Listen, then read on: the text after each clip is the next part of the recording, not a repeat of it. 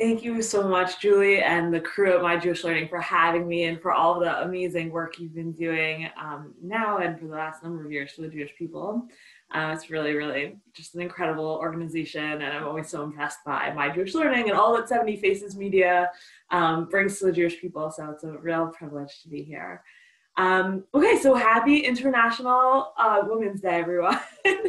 and um, part of this shiur was was developed actually as part of my thinking about um, kind of Jewish feminism and, and for me in particular, Orthodox feminism. And, and I really do sort of bring that lens to the set of texts that we are going to look at.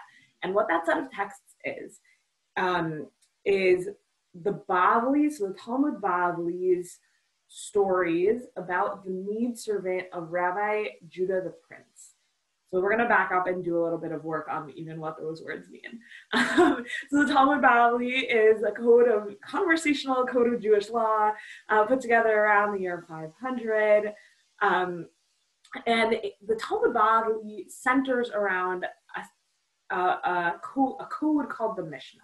Um, and, and what the Talmud does is it kind of like takes the Mishnah as a jumping off point for conversation, and that conversation that gets recorded within the Bavli um, took place in a bunch of different places. Both they'll record things that happened in in Israel, they'll record conversations that happened in various study halls, Batei Midrash and Yeshivot in in like what is now like Iraq and in Bavel in Babylonia, and um, and but it's all centered around the Mishnah. And the Mishnah is this code put together by Rabbi Judah the Prince. So Rabbi Judah the Prince is a really important person in the eyes of the Talmud. Um, he is just this like masterful teacher of Torah. Um, so important that the whole Talmud then literally like gets centered around the Mishnah, which is his code of Jewish law.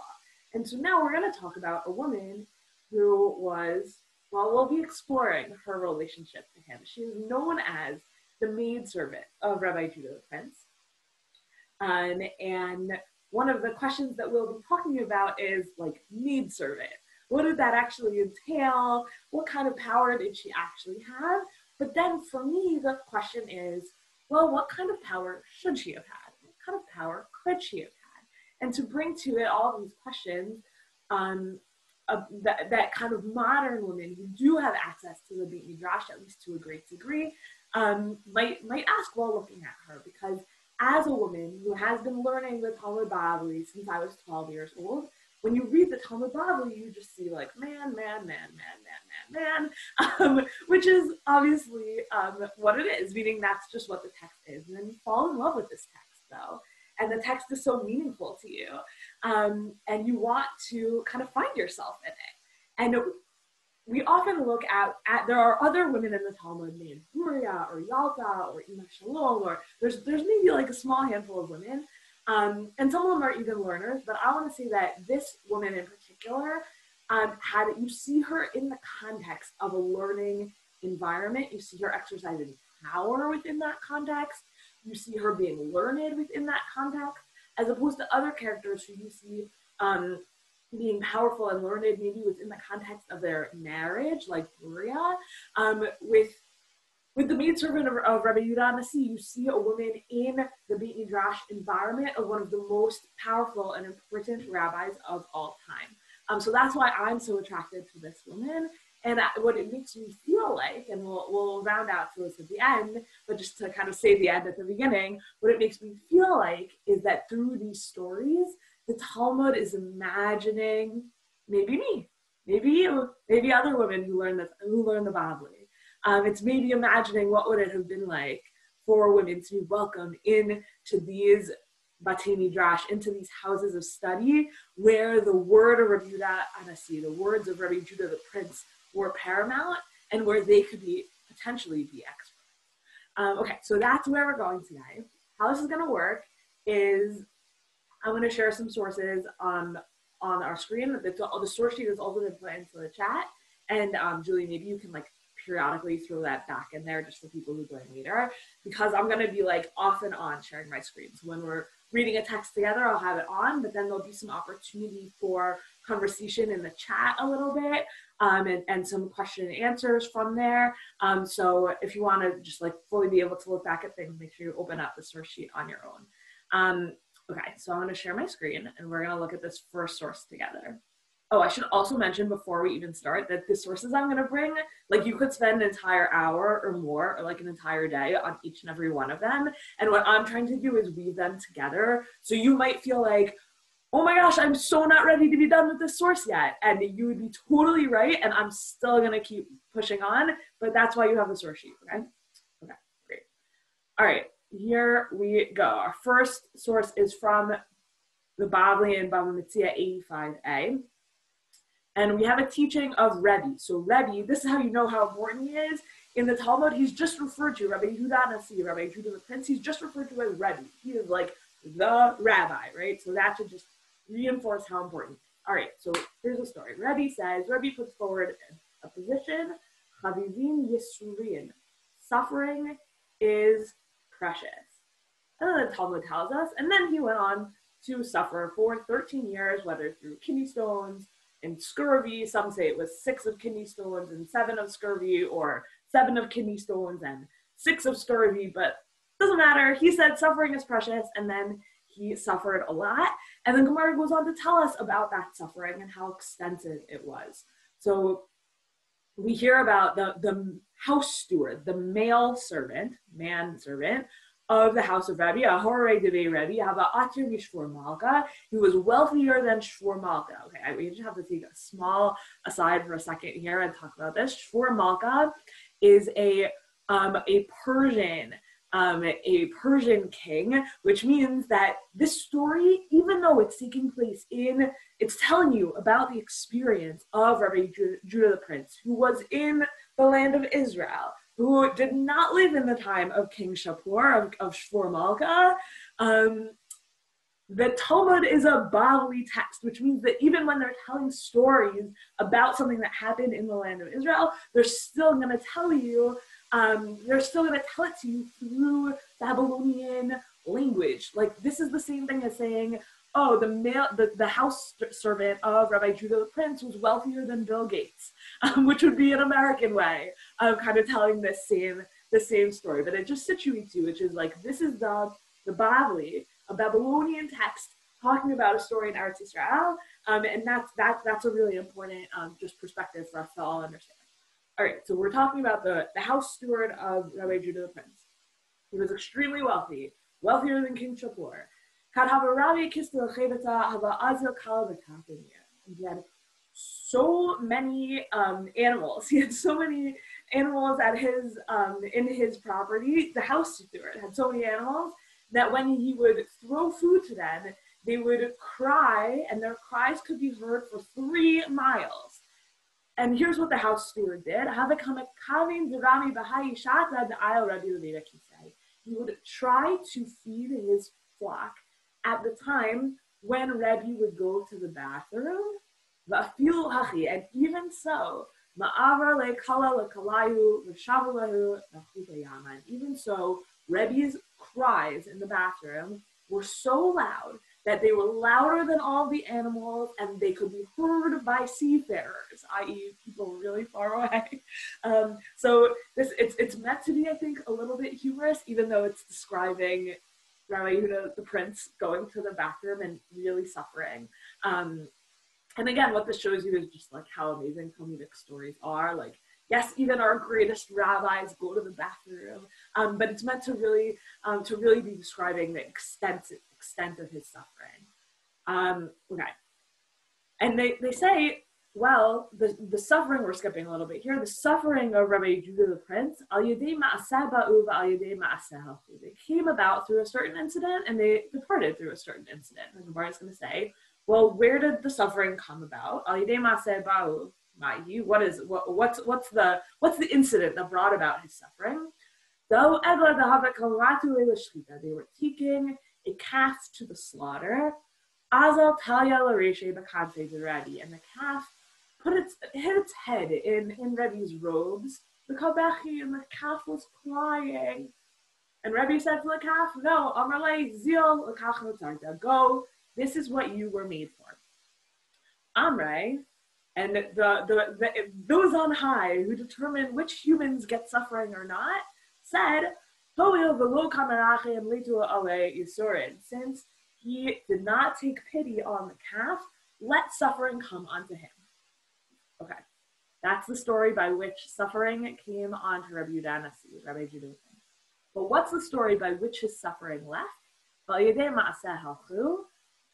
Um, here's what it is. One day Rabbi's maidservant, our heroine, Amta the Rebbe um, was was sweeping her house, and Habashade b'nei karkusha, some some weasels or maybe like rat type things, small rodents. Not hundred percent sure what what this animal is. Um, came along, and she was about to sweep them away out of the house. Amarla, Rebbe said to her, Shavkinhu, let them be. Ktiv, as it says in the verse, Virachamav al asad. It says in the verse that God's tender mercies are all are, are over all his works. God's tender mercies are over all his works. And then those on high, they said in heaven, Ho'il umerachim nerachim away. Since he is compassionate, let us be compassionate to him. Okay, there is a lot to dissect here. Um, but I actually just want to focus in on two things, even though this story is like really complicated and beautiful. And we have a comment in the text about how, in the chat about how hard kidney stones are. I'm so sorry you've been through that, um, Rabbi Fair. Um, but here's what I want us to focus in on. What did you notice about the way that Rabbi Judah the Prince spoke to his maidservant? Did anyone notice anything about that? When if you if you're fortunate, just just put it into the chat whatever you noticed. If you're fortunate, if you're fortunate enough to have someone who cleans your home, um, and you give that person instructions about how to do it, like you might say, um, please clean this bathroom, please don't change the sheets on this bed. What's the difference between the way you give instructions and the way Rabbi Judah the Prince gave instructions to his maidservant when he was telling her, please don't sweep away the weasels? Okay, good. He doesn't instruct her, he tells her of the Torah verse and lets her reach the conclusion. All right, so he, he does, he says, let them be, but he also brings in a Torah verse. What does that mean? What, when he brings in a Torah verse, what is he doing? What's he doing when he brings in a Torah verse? Please feel free to put your opinions into the chat. Great. Kirsten says he's teaching. He's teaching, right? She's not just, oh, some whatever person, I'll just order her around. No, he is teaching. Even when he just wants to say, sweep my house in this particular way, he's still Torah, still coming out. He says Irene, he's reminding himself of the value behind his request. He's also teaching himself, right? And that's why, good, Irene, that's good to see you, by the way. Um, that's why the angels or like the heavenly court also they, they judge him for this way of teaching, right? That he's teaching himself. God says you have to be merciful, and then they decide we're going to be merciful on him and have his suffering go away. Um, Laurie Stark says he's he's elevating, he's elevating everything, right? Exactly. Um, so Rebbe, and, and and now that we've seen this, just one example of the way that Rebbe behaves towards his household help. Um, how do you imagine that he spoke to her? Um, that he spoke to her kind of in a normal day to day, right? What what you know? Can you imagine what he might have said to her when he wanted her to make the bed or cook certain food for Shabbat or something like that, right? You can only imagine that if this is what he has to say about sweeping, then anything that might have like some tinge of halachic relevance, like make this for me for Shabbat, she might have gotten like a whole discourse about about the laws of Shabbat as um, as he you know as he was giving her instructions for that. You can only imagine kind of in every element of their day to day existence together that his maidservant had this very intimate access to him as a teacher in all of these different elements of his life. And we even saw that his manservant, his house steward, had this like incredible access to Rebbe that he knew exactly when is Rebbe going to be going to the bathroom, when is Rebbe the Prince going to be going to the bathroom. Let me like let me try and and and you know let me try and drown out his screams from the bathroom. Um, like she also probably had that level of intimate access to him and his schedule and his instruction, and he was just sort of like a font of of teaching to her. So this first story just already shows us, and I want you to remember, by the way, the precise teaching, which is that Rebbe starts out saying, suffering is precious, and by the end he says, actually, it's really important, it's important to be merciful, that we should be merciful. Okay, so we're just remembering that learning that she had here. We're going to hold that until we get to our last source.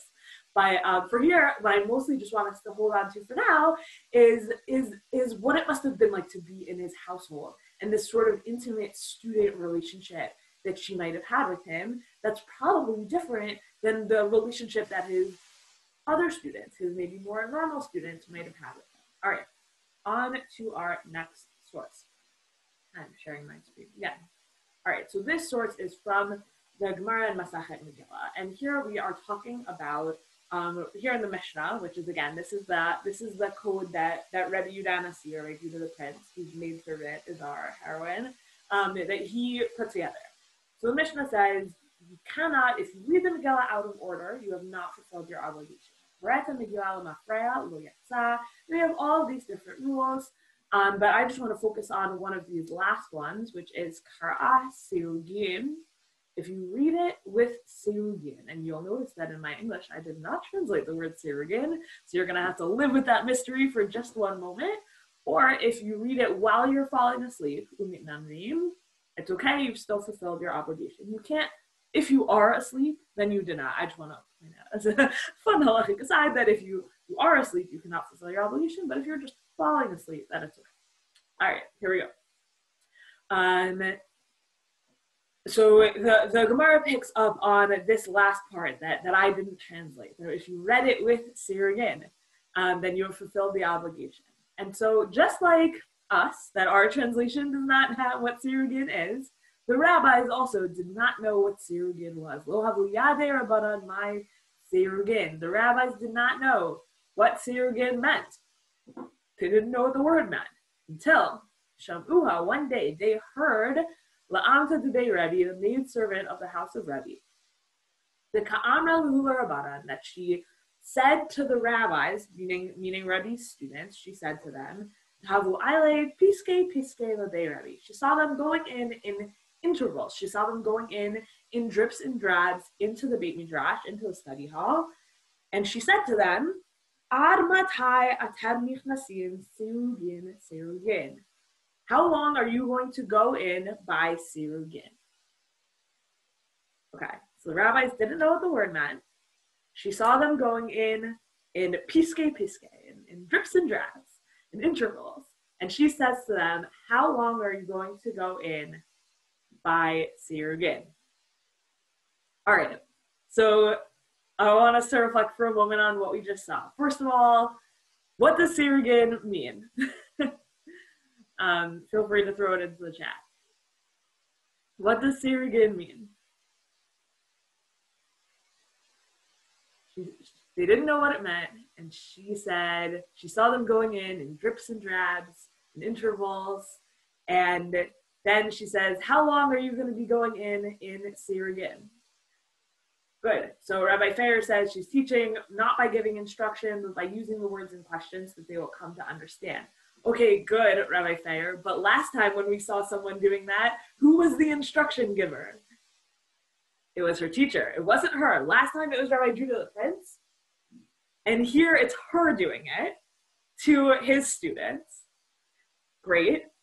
The word sirugin in the context of reading Megillah would mean I'll read a little bit now, and then I'll take a break and have some kiddush, and then I'll read a little bit later. Um, so that that would be that's what the word means and she sees them going in to yeah having a spiel between chapters great so she sees them going in two students now and then two students later and she and she says to them how long are you going in the Sirugin they didn't know what it was they heard her use it in context which is again how Rebbe taught her And now she is teaching his students in that same way. Um, there is definitely a, um, a feminist read to be brought to this because you sort of wonder. She could have taught them more directly. She could have said to them, Hello, you don't know what this word means? Let me tell you what the word means. I know what the word means. And would that have worked? what do you think? You can just give a hand, a thumbs up or a thumbs down. Well, how would that have gone over for her? I'm seeing some thumbs down, lots of thumbs down, right? You have the maid servant and you have Rabbanan, you have the rabbis. And if she goes over and says, Oh, you guys have a question? I know the answer. That wouldn't have worked, right? So there's a certain sadness there. There's a sense they don't know things, she knows. And on the one hand, there's the read of she's a master educator. She learned how to teach from their teacher, and she's paying it forward as a master educator, giving them this kind of experiential knowledge, and they'll really and once they figure it out from her kind of clues and using it in context, they're going to really internalize what the word means. And that's really important, right? Because that's how the Torah gets preserved by them knowing what the words mean and what the halacha is. So that's her as a master educator. But then there's another read, which you can hold both at the same time, which is yes, she's a master educator, but she also had to teach this way because she was a woman. And you and she had and and she had to teach this way, and she had to be a little bit discreet. And instead of just letting her Torah flow and come out, she had to kind of make it as if they just figured it out on their own or they they you know she couldn't just like be all up in their face about it. And there's a certain sadness in that well maybe there's a lot she didn't get a chance to teach because she had to teach it in this roundabout way and because she had to teach it while she was on the outside. The third perspective or the fourth perspective i don't even remember what we're up to by now that i want to bring to this is uh, to this little story that we just saw is what is her role what did you notice on the one hand, she's not allowed to go up to them and be like, oh, you guys were wondering about what this word means. Let me tell you. On the other hand, what is she allowed to do? They're not going into the Beit Midrash fast enough. They're dilly dallying. And she's yelling at them. So on the one hand, she's like not in the Beit Midrash and she's not formally teaching them. But she is in some ways also the Gabbai. You know, she's the one being like, all right, time for Mincha, like everyone um, Um, and so she is playing this kind of powerful role, even while she's not necessarily allowed to teach frontally and while she's outside of the Beit Midrash, but she still knows what the questions are from the Beit Midrash. So, you know, she sort of like has this insidery role even while she's an outsider. She has the answers to the questions, but she's not allowed to teach them. And she learned how to teach from Rabbi Yehuda Hanassi from of the Prince, who is her boss. Okay, we're gonna, um, I, oh, I'll show you one last thing about this, and then we're gonna move on to our next source. Um, okay, so I just want want you to see here that we have um, that we have this we have this teaching about Sirugin that that gets um, that, that clearly by the time we have this teaching about Sirugin, this Breita that comes down, it shows us that she was right about what it meant. So we have we have a caveat to if you read the Megillah, the Book of Esther with Sirugin, then it works. Like then that that's allowed. On the one hand, yes. On the other hand, we have this Breita that says you can only stop for a certain amount of time. So if you if your spiel, let's say, in between the chapters lasted long enough that you could have read it again from the beginning, then you or sorry, that you could have finished it, then you have to read it again from the. It adds a time cap onto your permitted breaks, which then shows us exactly what Sirugin means, which is what she taught it to me. So um, her teaching, theoretically at least, was successful. All right, next source, we're in Moed Katan 17a. Um, this is a long and complicated and super important story for so many reasons, and you'll see why the minute we start reading it. Um, and we're actually not reading it for the reason that it's normally taught. So again, as we read it, you're going to be like, hold up, I have so many thoughts, my brain is exploding. That's what this is that kind of Gemara. Um, and like, I, am just apologizing in advance. You'll have to go back and learn it with a Chavrusa on your own time. Um, and I'm going to say a lot of it outside also so that we can get all the way to the bolded part where we have about our, our particular heroine. Okay, so we have, we'll start in the beginning. We have a certain rabbi who had a bad reputation. Nowadays, it never happens. All rabbis are perfect, I know, but in the times of the Talmud, sometimes rabbis did that thing. Um, Amar, that was a joke. Um, Amar Rav Yehuda, so Rav Yehuda asked his colleagues, Hey, Chilavi, what are we supposed to do? The Shabbat, we put him in, if we excommunicate him, hold on, but we need him, he knows things, he's very powerful, whatever it is, right? So we don't really want to excommunicate him. On the other hand, On the other hand, if we don't excommunicate him, that's really bad. It's going to be a desecration of the name of God, of the name of heaven. So uh, Rabbi Baruch says, um, I know something about this. This is what um, this is what Rabbi Yochanan said. So it says in um, in Malachi, in the book of Malachi, for the priest's lips should keep knowledge and they should seek law at his mouth, for he is the messenger of the Lord of hosts. Um, so im domeh harav Hashem yivakshu Torah If the if the master, if the rabbi, if the teacher is similar to an angel of God, that's who you should learn Torah from. The im lav, but if he is not, al yivakshu Torah then you should not learn Torah from him. Okay, so based on that teaching of Rabbi Yochanan, brought down by Rav Bar in conversation with Rabbi Huda, sorry, it's a little bit complicated. um, based on that teaching, Rabbi Huda said, You're right, we have to put this, we have to excommunicate this guy. Okay. But then what happens? They excommunicate him, but then Rabbi Huda, um, then Rabbi Huda gets sick and he's about to die, and all the rabbis come and they come to come to his bedside, and this guy who he excommunicated came with. Um, and when Kadchazi Rabbi Yehuda when Rabbi Yehuda saw him, he smiled. Um, and the guy, the excommunicated rabbi, said, "Oh, okay, this stuff is amazing, but actually, it's not so relevant, so we're gonna skip it." Um, sorry, just a taster. You have this. You have the sources. You'll find them on your own.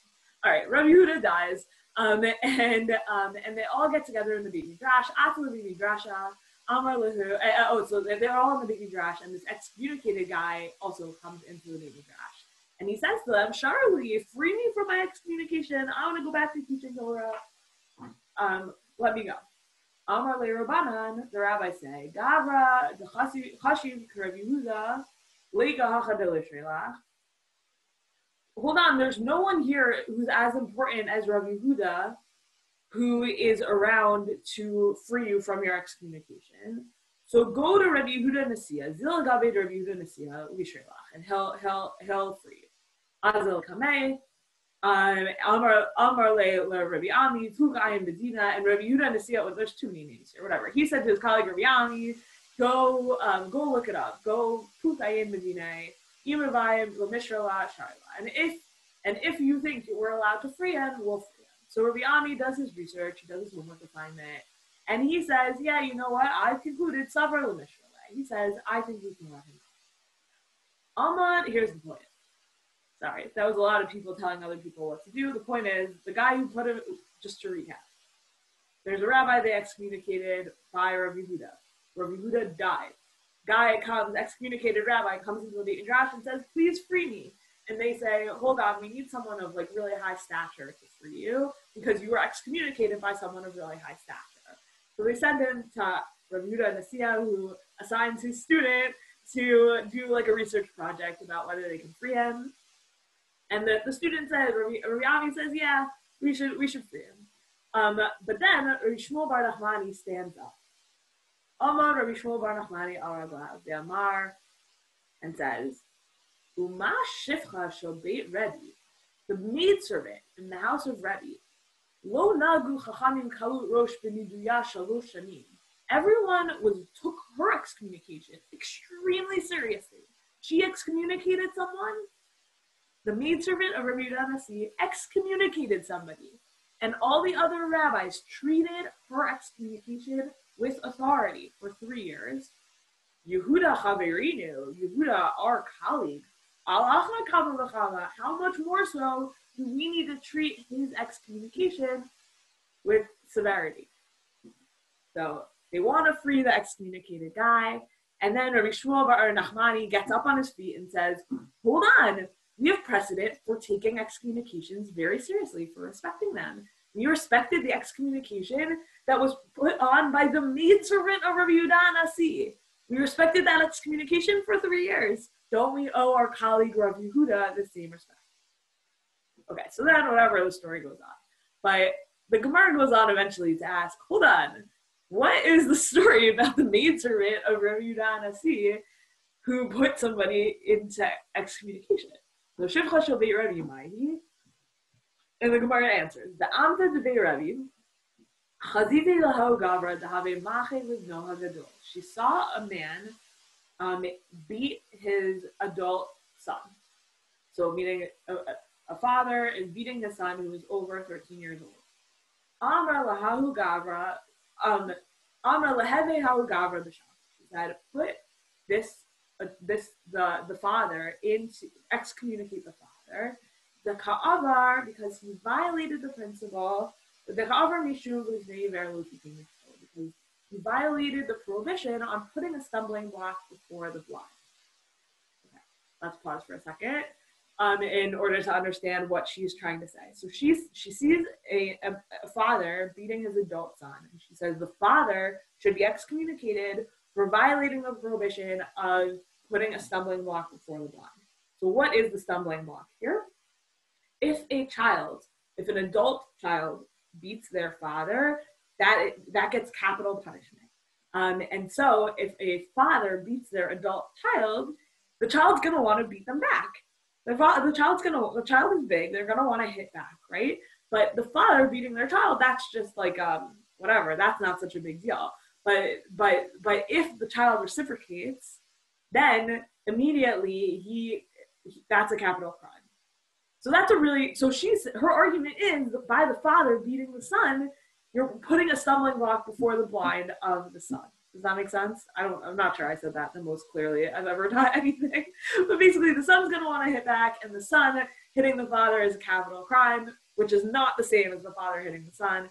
And that that so it's putting a stumbling block in front of the and then a really amazing thing here happens, and we'll finish this text and then we'll come off screen share for a second, um, which is we have an anonymous Breita, an anonymous teaching, which then says,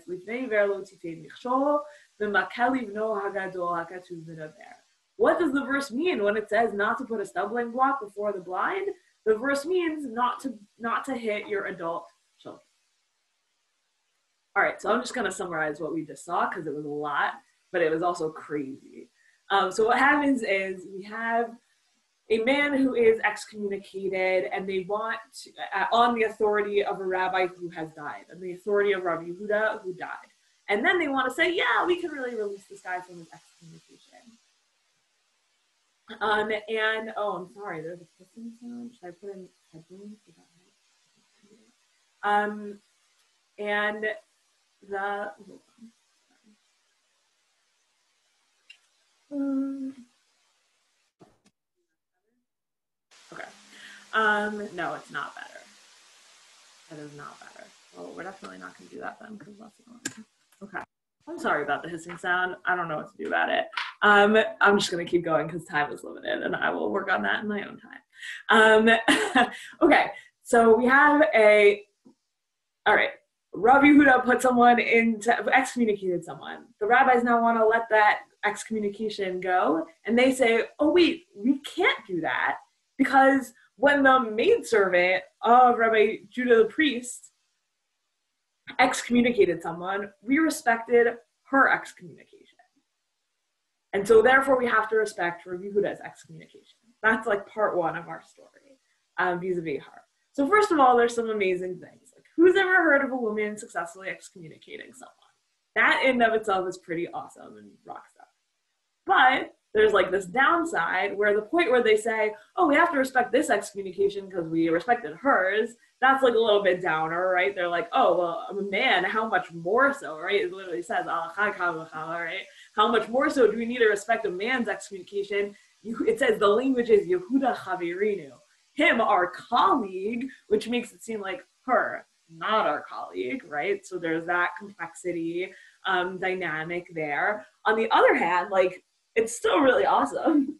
and then the story of her excommunication is also really cool for a few reasons.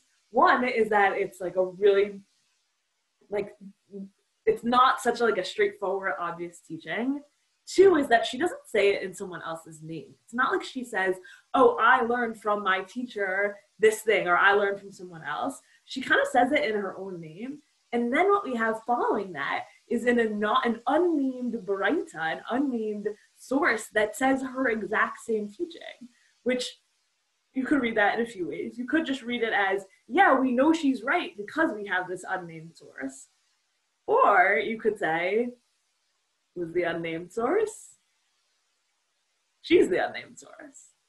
And that opens up, this is just for fun, just for fun. There's no science behind this, but if you want to like live your Talmud study life in like a really fun way, every time there's an anonymous teaching, you can just assume it is written by a woman. Um, and it just like brings lots of women into the Talmud as you're reading. Um, as I said, just for fun. I, I, I, there's no authority behind that. That is just a fun activity for your own Talmud study fun. Okay, um, but but I do think that it at least hints at that here of of this source being actually yes an original interpretation of a verse by her that not only gets preserved in an authoritative way, but actually got implemented in a way that's kind of really awesome and exciting. Um, even if they're going to say, oh, well, like, you know, she's less than Rabbi Huda or whatever, but still, she she excommunicated someone. Really pretty baller. Um, next source, and, and this I think will, kind of round out things here. All right. We're going to take this one a little bit slow. This is a really important source. I mean, all the sources we've looked at I think are really awesome and exciting and important. Um, but this one is really important for, um, comes up actually halachically when we think about end of life issues, uh, which is funny. We don't normally look at Talmudic stories for um, halacha, though of course we sometimes do. Um, but this one plays plays really important, uh, a really important role in that. So I just wanted to kind of um, kind of preface this with that. Okay, so here's the story. Oh, Yoma, the Nachnav Sheikh the Rebbe. The day that Rebbe, again, or Judah the Prince, died, Gashra Rabbanan Tanita The rabbis decreed a fast and they were all praying.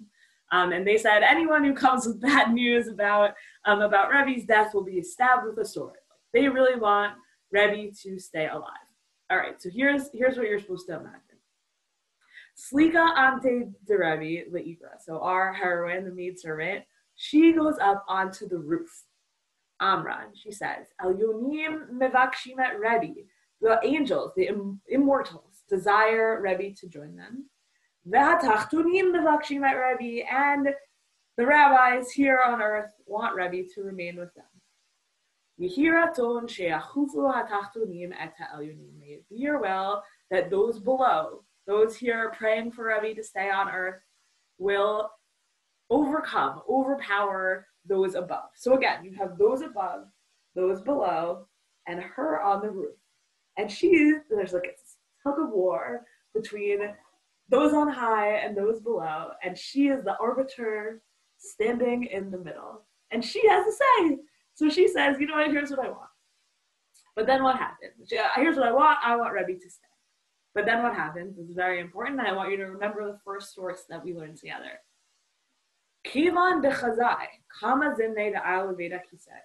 Once she saw how many times Rebbe went to the bathroom, the chalatz tefillin, and manach and he would take off his tefillin, and he would put them back on, and he was suffering. He was suffering. Then what happens? Then Amra, and she sees all this, by the way, from her vantage point on the roof. And then she says, she'achufu el yonim et hatachtonim.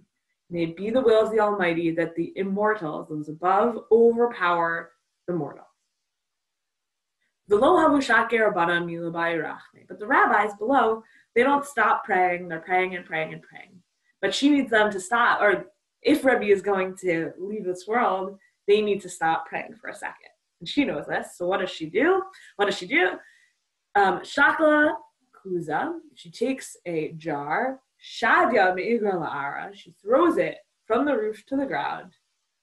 Ishtaku Merachme, They stopped praying for a minute because she threw her she threw this jar.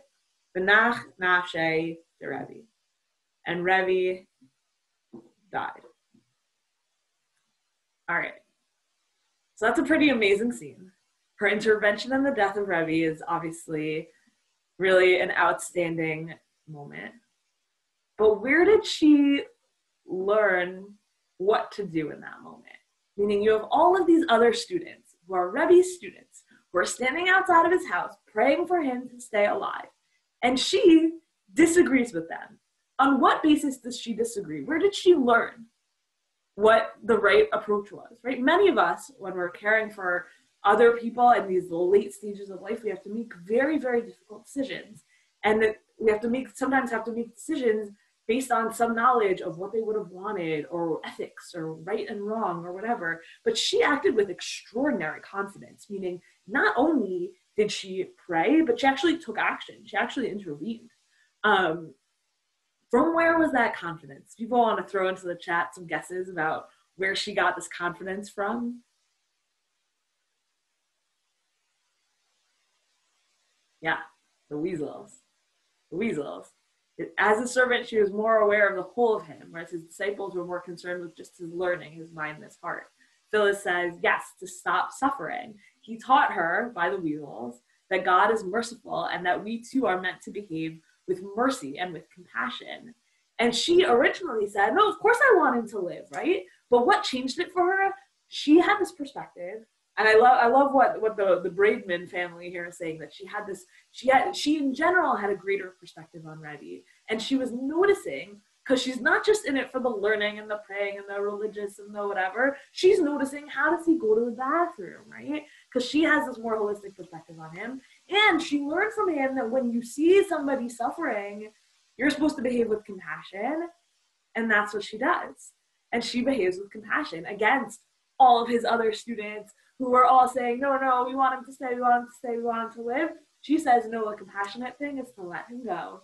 And she makes that happen by literally taking up a perch between the heavens and the earth and acting as an arbitrator, which is just not only does she have the power to um, to put other humans in, in, in, you know, to affect change amongst humans by um, excommunicating someone. She has way more than that. She has the power to even affect change uh, uh in matters of life and death in between humans and and and and, and those on high who decide who t- typically decide these things. Um, so it's really just a, a magnificent story. And and when we see these stories all together, kind of as a as painting a, a, combined picture of her and her power amongst other people and her learning relationship with Rebbe Yehuda Nasi, who again the Talmud just refers to as Rebbe. Like in the Talmud, he is like the rabbi, um, and she is his the student who answers the questions that none of his other students know how to answer, whether those are learning questions like what does this word Sirugin mean, or care for their teacher questions and the human questions and ethics questions and kind of the biggest questions that that even exist um, are questions uh, uh are these questions of life and death she seems to be the student who knows more and knows better than than almost than any of them. Um, so is she ever named not exactly. There are like hints and there are places where it's um, and, and some commentators give her give her a name, but um, the Talmud, the Bavli itself does not give her a name. Um, and wait, here's where I wanted to go with this because um, when I was asked to give the shiur, I was asked to to really to really make sure it's um, to, to really talk about like Orthodox feminism a little bit. And so I, I started with this, but I, I, I want to tie it in now to what we've learned together, and then and then I'll, I'll have maybe like 10 minutes or so with the questions also. Um, for me growing up, so I grew up in a co-ed um, Orthodox school at the Maimonides School in Boston or in Brookline, Massachusetts, and we always had the same teachers. We were in classes with boys, and it was always the same. But one of the big questions for me was always like, I love these texts, but I never find myself in them. Like I can't, you know, there are women. Ilana Kurshan in her book "If All the Seas Were Ink" writes about imagining herself into the Talmudic Beit Midrash. Into she can just imagine like I, I am a man fighting it out amongst the men. And that sort of works until, for me, where it really broke down was when I was learning the laws of Nida and hearing these rabbis talk and or talk and write about menstruation. And it just becomes really clear that when you have a body that menstruates, like you are not one of them. and that set me off on a search for um, finding myself here or finding the Talmud, at least imagining how could it, how could someone like me come into existence? And that's what I think you really see here, meaning like what these texts are doing are they're there are rabbis sitting around in Bavel. Like, I mean, there, there, there are traditions about this woman, surely. Are they true traditions? Did she ever exist? Maybe. But even, even if she existed, and even if the traditions are true, the way they're told, which is what we saw, I pointed that out in this first text, that they're told in this very Babylonian, she's as wealthy as King Shapur, the Babylonian king, who she certainly never would have met, right? They're told in this like Babylonian language with Babylonian references, because what it is is these rabbis sitting around in the Babylonian uh, yeshiva environment telling stories about this like mythological woman who was one of them but if she's one of us, how does she fit in? And can she fit in? And is she always a little bit different? And but can but can we even imagine a woman who's as or more learned than the other rabbis around? And the answer to them was yes. We can imagine this woman. We can imagine a woman. And and there's a certain sadness to all of these texts. Like what if we actually had let her into the door? What if her job weren't just saying, You're late, hurry up. Oh, and by the way, I'm going to teach you this word you've all been wondering about the whole time. But what if she was actually in there in the front giving the class? And these, these stories, I think, reveal a certain loss and a certain sadness that sh- that that Talmud itself is is feeling about her. Like we know that she's this tremendous student and did her teachings even get preserved? You know, like it's fun. It's fun to read every anonymous statement in the Bavli as being by a woman, but like, how much did she know that never actually made its way into the Midrash? And is this the Talmud in a certain sense like mourning for that? And then if the Talmud is mourning for that, then the Talmud is rejoicing today, right? Today in a world where this classroom is full of women and the, ta- the doors of the Talmud Bavli have been open to women, and we can find ourselves a home in it. And um, and I think that for me is like a really important feeling to say that Talmud would have been happy. The Talmud imagined this world, couldn't quite imagine it, but dreamed about it, thought about it. And today we've made it, you know, many, many, thousand and a half years later, we've made it the reality. Um, and how fortunate, how fortunate are we? Um, so that is, um, that's my thought. For coming. I'm happy to stick around and take questions, both about these stories, about my experience learning Talmud in general as an Orthodox feminist, um, other random Orthodox feminist International Women's Day thoughts and dreams you might have. Um, and um, either we can take things from the chat or people, I don't know, Julie is in charge of this, but she can unmute people who have questions. Yeah, thank you so much, Rabbanit Sarna. That was um, that was fantastic. And yeah, at this point, I think um, I'm just gonna let people um, unmute themselves. So if folks have a question, feel free to to jump in at this point. Um,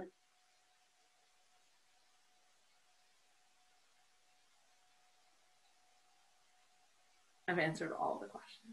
All the questions about Orthodox feminism, and what it was basically you opened up you opened up the possibilities to the to everything. There's got to be some question. More classes like like these that bring out the invisible voices of the Talmud. Mm-hmm. Yeah, Irene, great. So, thank you.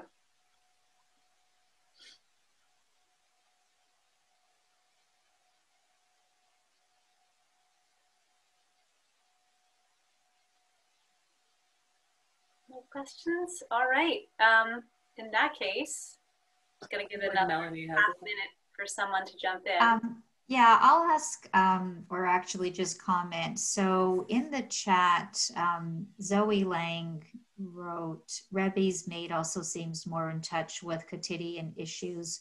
She also was much more attuned to physical problems like when Rebbe is dying when you were reading the text to us, I had that same impression. So even though they used this device of creating a maid who exists on the periphery and whatnot.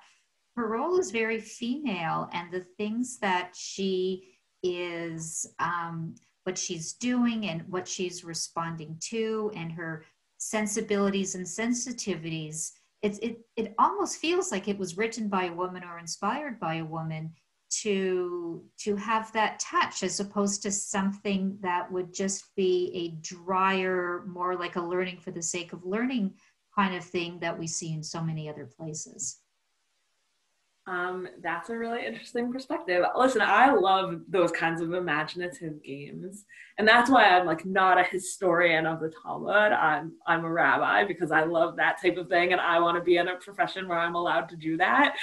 um, and um, and that's like one of the one of the joys of my work is that I, I do want to like blow open all those imaginative possibilities within the Talmud.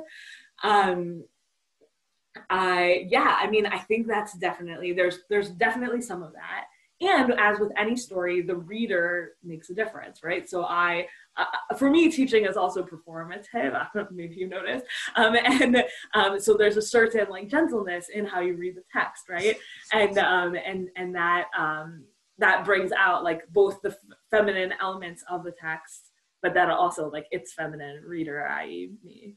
Um, so, but yes, I think I think you make a very beautiful point.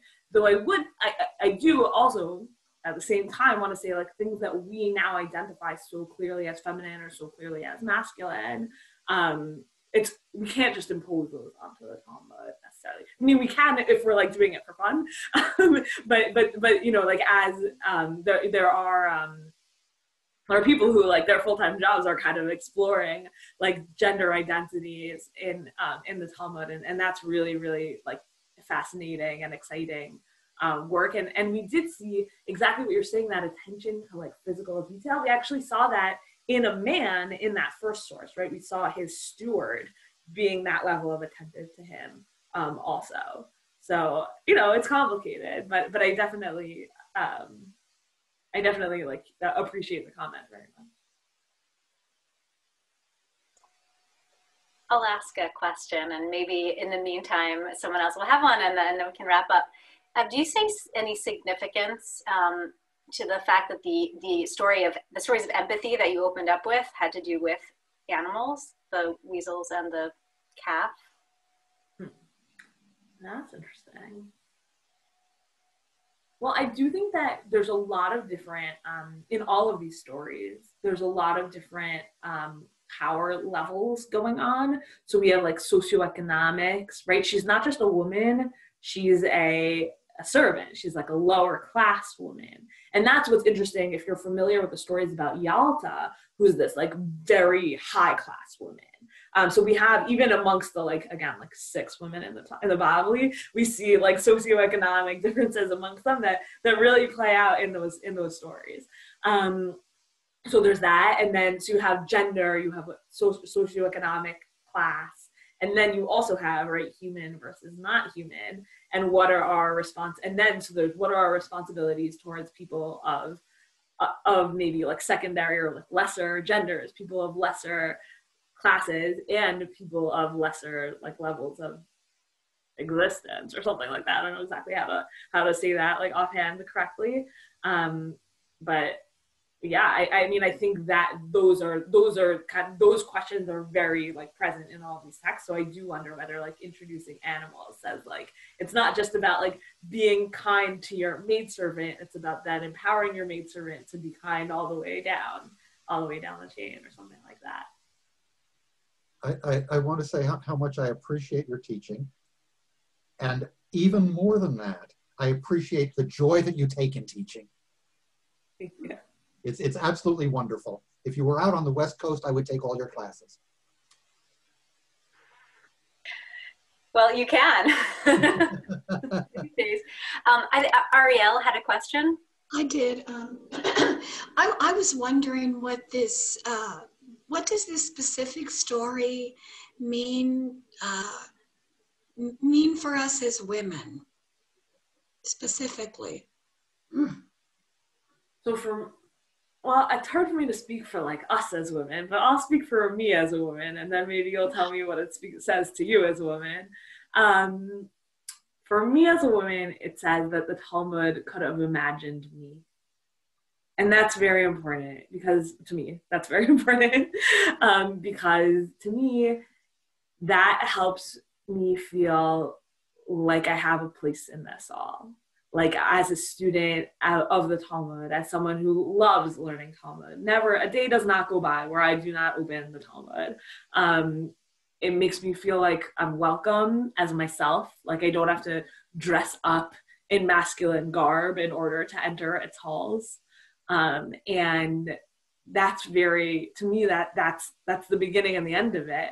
Um, that that as myself, as a woman, um, I can I can be part of the conversation, and the Talmud could imagine that and the talmud could mourn for its own loss that it didn't have that maybe um, and then this this is this is kind of how i ended but that the talmud that that, that the, the rabbis of the talmud might have even been happy to have me learning what they're what they're writing for a book that was that was again that was not open to women studying it for most of its existence right and and still today there are many women who who are not many religious um, Orthodox women, though increasingly this is changing, and I see Michal Rasher is on here, and she spends a lot of time with ultra Orthodox women, um, so she could probably tell us more. But my understanding is that even in the ultra Orthodox community, women are more and more studying the Talmud, which is absolutely amazing. Um, uh, but still, all of that is relatively new, um, and so to feel like we're not just interlopers, but we're part of the inheritance is very important in my opinion.